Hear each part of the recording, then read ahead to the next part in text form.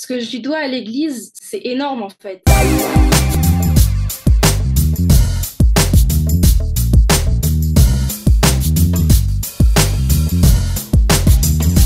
Je viens d'une famille catholique. J'ai fait tous mes sacrements, euh, je vais à la messe tous les dimanches. J'essaie de prier tous les jours, notamment avec l'Angélus. J'aime ce lien que j'ai avec l'Église, donc je ne me vois pas couper euh, cette relation et surtout, euh, je ne me vois pas vivre sans en fait. Que ce soit dans les activités, les temps diocésains, les temps paroisse, en paroisse aussi, quand il y a des pèlerinages ou quand, bah, par exemple, les JMJ.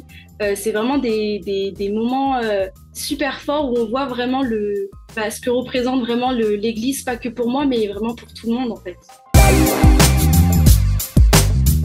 Ce que je dois en l'Église en un mot, je pense que ce serait la, rencontre, la relation avec les autres, toute cette joie et que ça apporte de pouvoir prier, les moments de louange, tous ces moments, en fait, c'est ce que je dois à l'Église, c'est énorme, c'est c'est une grande part de ma vie en fait. Je sais pas comment expliquer, mais c'est vraiment euh, ce que je dois à l'Église j'ai envie de dire tout en même temps parce que tout est lié un peu à l'église. L'église, c'est pareil, c'est pas forcément un lieu, mais c'est vraiment les gens qui composent cette église et qui euh, en fait justement une église aussi belle